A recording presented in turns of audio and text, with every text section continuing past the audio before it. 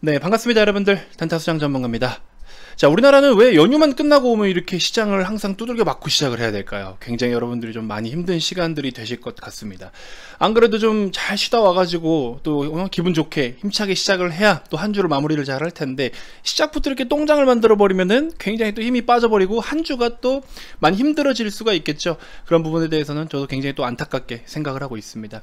자, 결과적으로는 어쨌든 7만 원도 깨버렸습니다. 삼성전자는 기존에 제가 이제 브리핑 드렸던 내용 은 6만 8천에서 7만 2천 원대까지 빠질 가능성이 있다라고 말씀을 드렸는데 그때 당시에 이제 말씀을 드릴 때는 요때 하락이 6만 8천에서 7만 2천 원까지 빠질 가능성이 있다 이렇게 언급을 드렸어요. 근데 72,600원을 찍고 이제 돌려버렸단 말이죠. 그렇기 때문에 여기서도 매수는 하지 말라고 말씀을 드렸습니다. 왜?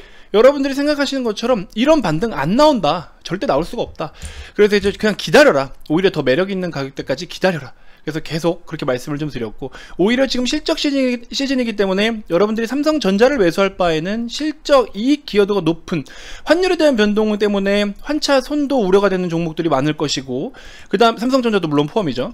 그 밖에 다른 종목들 뭐 금리에 대한 부담감 여러 가지로 이렇게 어, 외부적인 대외적인 어떤 정책 방향성에 따라서 영향을 받는 것들이 상당히 많아요. 대부분의 업종이 다 영향을 받습니다. 하지만 그런 영향을 감수하고도 이익 모멘텀이 좋은 기업들 그런 기업들로 투자를 하시면 오히려 지금 같은 상황에서는 공격적으로 매수를 하면 진짜로 V자 반등도 가능하다라는 거예요.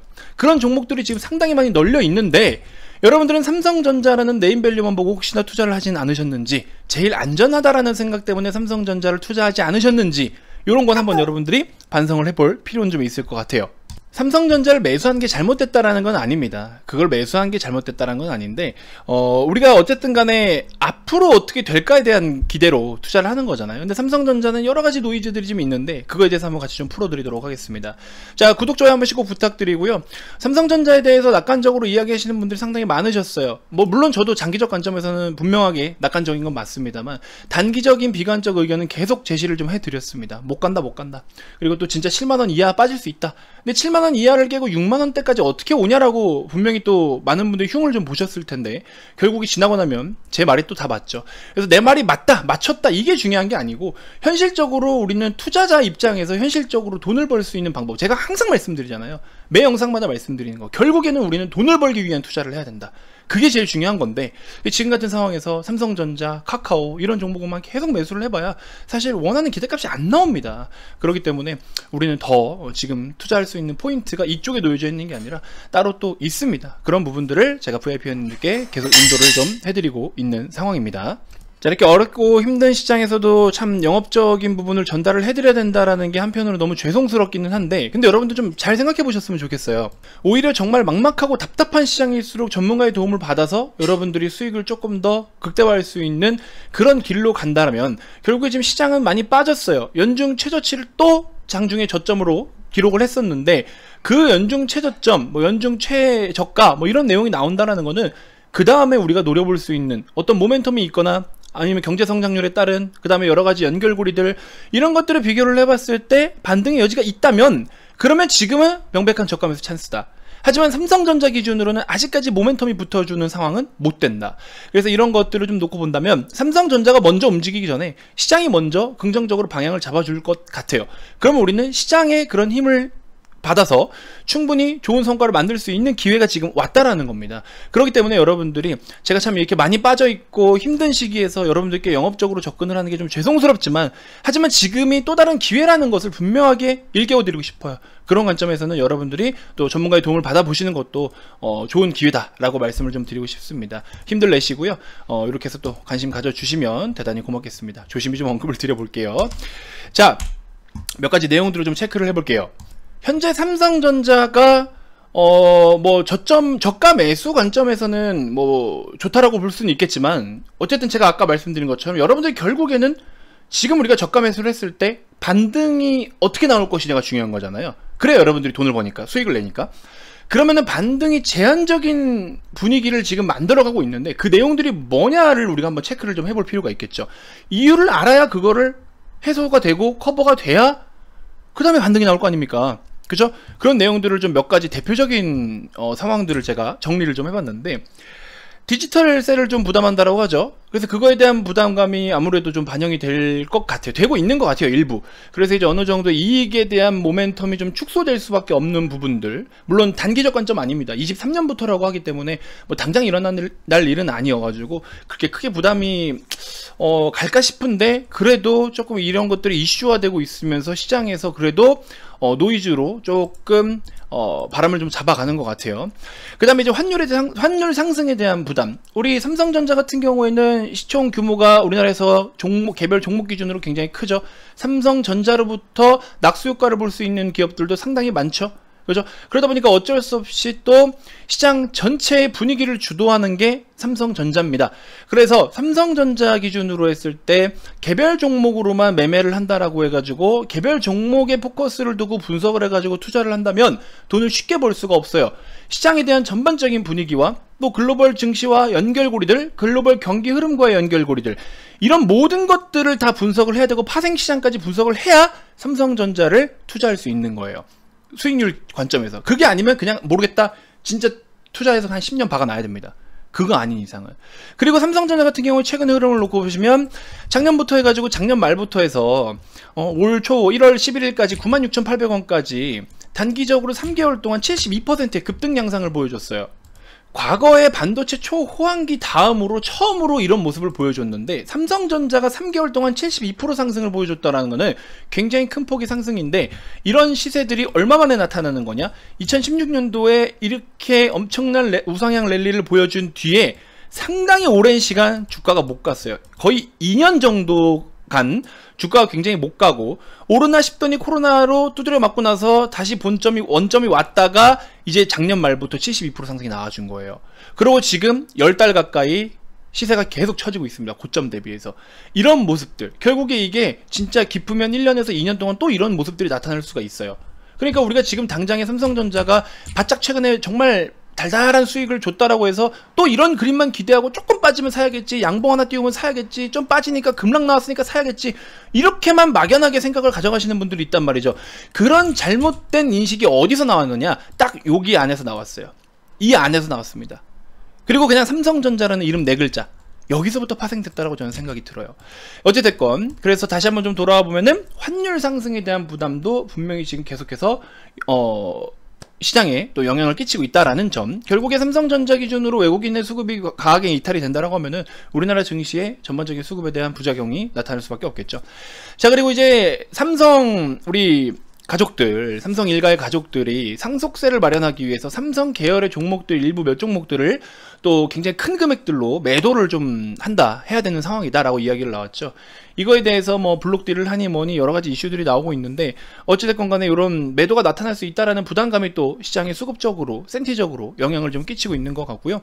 그다음에 노조 협상 관련해 가지고 또 이슈가 불거지고 있습니다. 이런 부분들도 향후 어떤 식으로 조금 움직임이 나타날지. 근데 삼성전자의 이 노조, 삼성전자와의 삼성전자 노조 이 협상 요거는 다른 기업들하고는 좀 다를 것 같아요. 삼성이 그래도 조금 더 갑인 상황이죠. 요거는 좀 더 추가적으로 봐야 될 것 같고 어쨌든 그 다음에 이제 오늘만 하더라도 삼성전자 목표 주가 하향 조정 나오는 리포트만 하더라도 여러 증권사에서 나타났습니다. 자 이거에 대해서도 계속 좀 부담을 주고 있어요.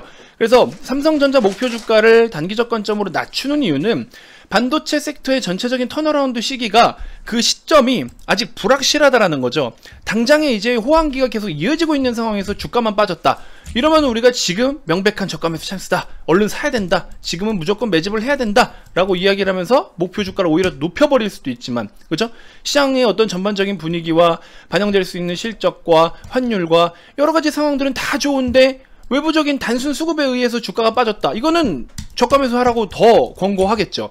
하지만 지금 같은 상황에서는 모든 것들이 부담이 되는데 이쪽 섹터의 업황에 대한 어떤 전반적인 그 turnaround 시점에 대해서도 불확실성이 가득하다. 그리고 내년 conference call이 아직 정확히 안 나왔잖아요. 이런 것들이 영향을 받아서 언제쯤부터 좋은 흐름을 가져갈 것이다 라는 시기가 확실히 정해진다면 예측하는 어떤 윤곽이 드러난다면 그 시기로부터 빠르면 6개월 그죠? 뭐 길게는 뭐 1, 2년 이상 뭐 이렇게 또 당겨서 반영하는 경우들도 있긴 있지만 어쨌든 스타트를 끊어주는 거는 6개월 전부터 보통 통상 스타트를 끊어 간단 말이죠. 그래서 이런 부분들 결국에 우리 작년 같은 경우도 마찬가지예요. 작년에 삼성전자가 이렇게 72%대 급등을 보여줄 때 작년 11월 기준으로 했을 때도 내년은 반도체 어, 호황기가 될 것이다. 그리고 엄청난 성장세를 유지하고 있다. 특히나 상반기에 어, 상당히 또 슈퍼사이클 호황기다라는 말 여러분들 계속 들어보셨을 거예요. 그러니까는 상반기 때 대비해서 지금 6개월, 6개월에서 9개월 전에 미리 주가가 반응해서 움직인 거잖아요. 그럼 현재 시점으로 놓고 봤을 때 이 이상의 시세를 내줄 수 있는 조건이 되냐를 본다면 그러면 이제 여기서부터 고민을 해본다면 어때요?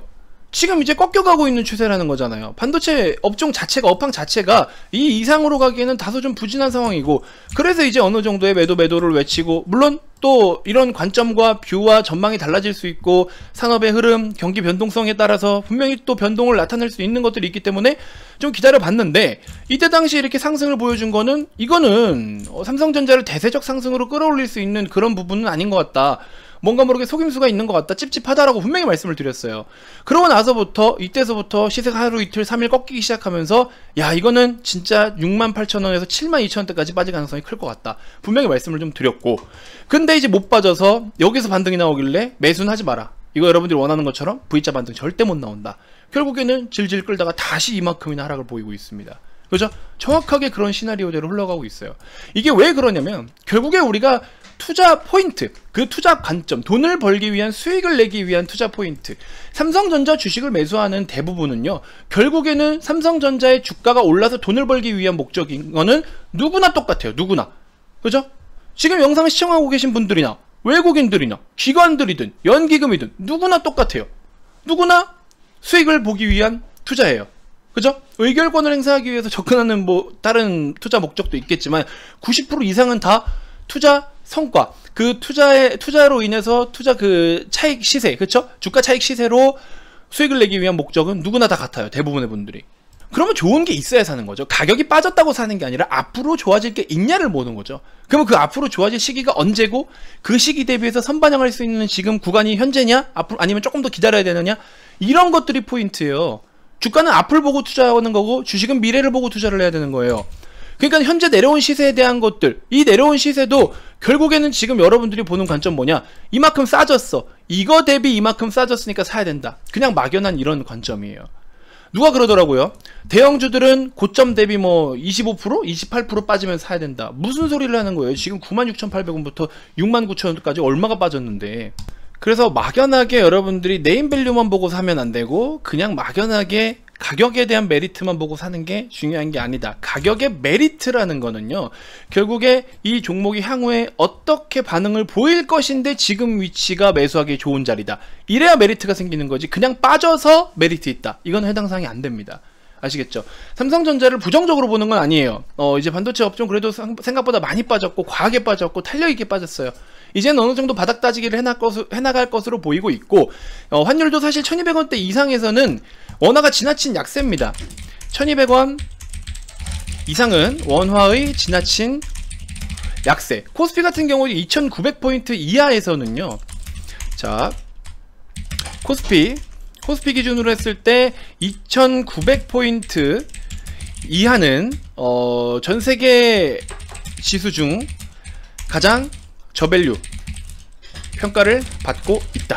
그래서 value에 대한 어떤 전반적인 메리트는 분명하게 있습니다. 그렇기 때문에 여러분들이 지금 어, 바닥을 다져가는 과정에 있어서는 충분히 좋은 가격대고 좋은 구간인 건 맞아요. 근데 이런 어떤 수급적으로 영향을 줄 수밖에 없을 만한 내용들이 노이즈로 껴있다라는 거 그거를 조금 더 주가에 반영을 해야 될 그런 시간적인 부분은 필요할 것이다.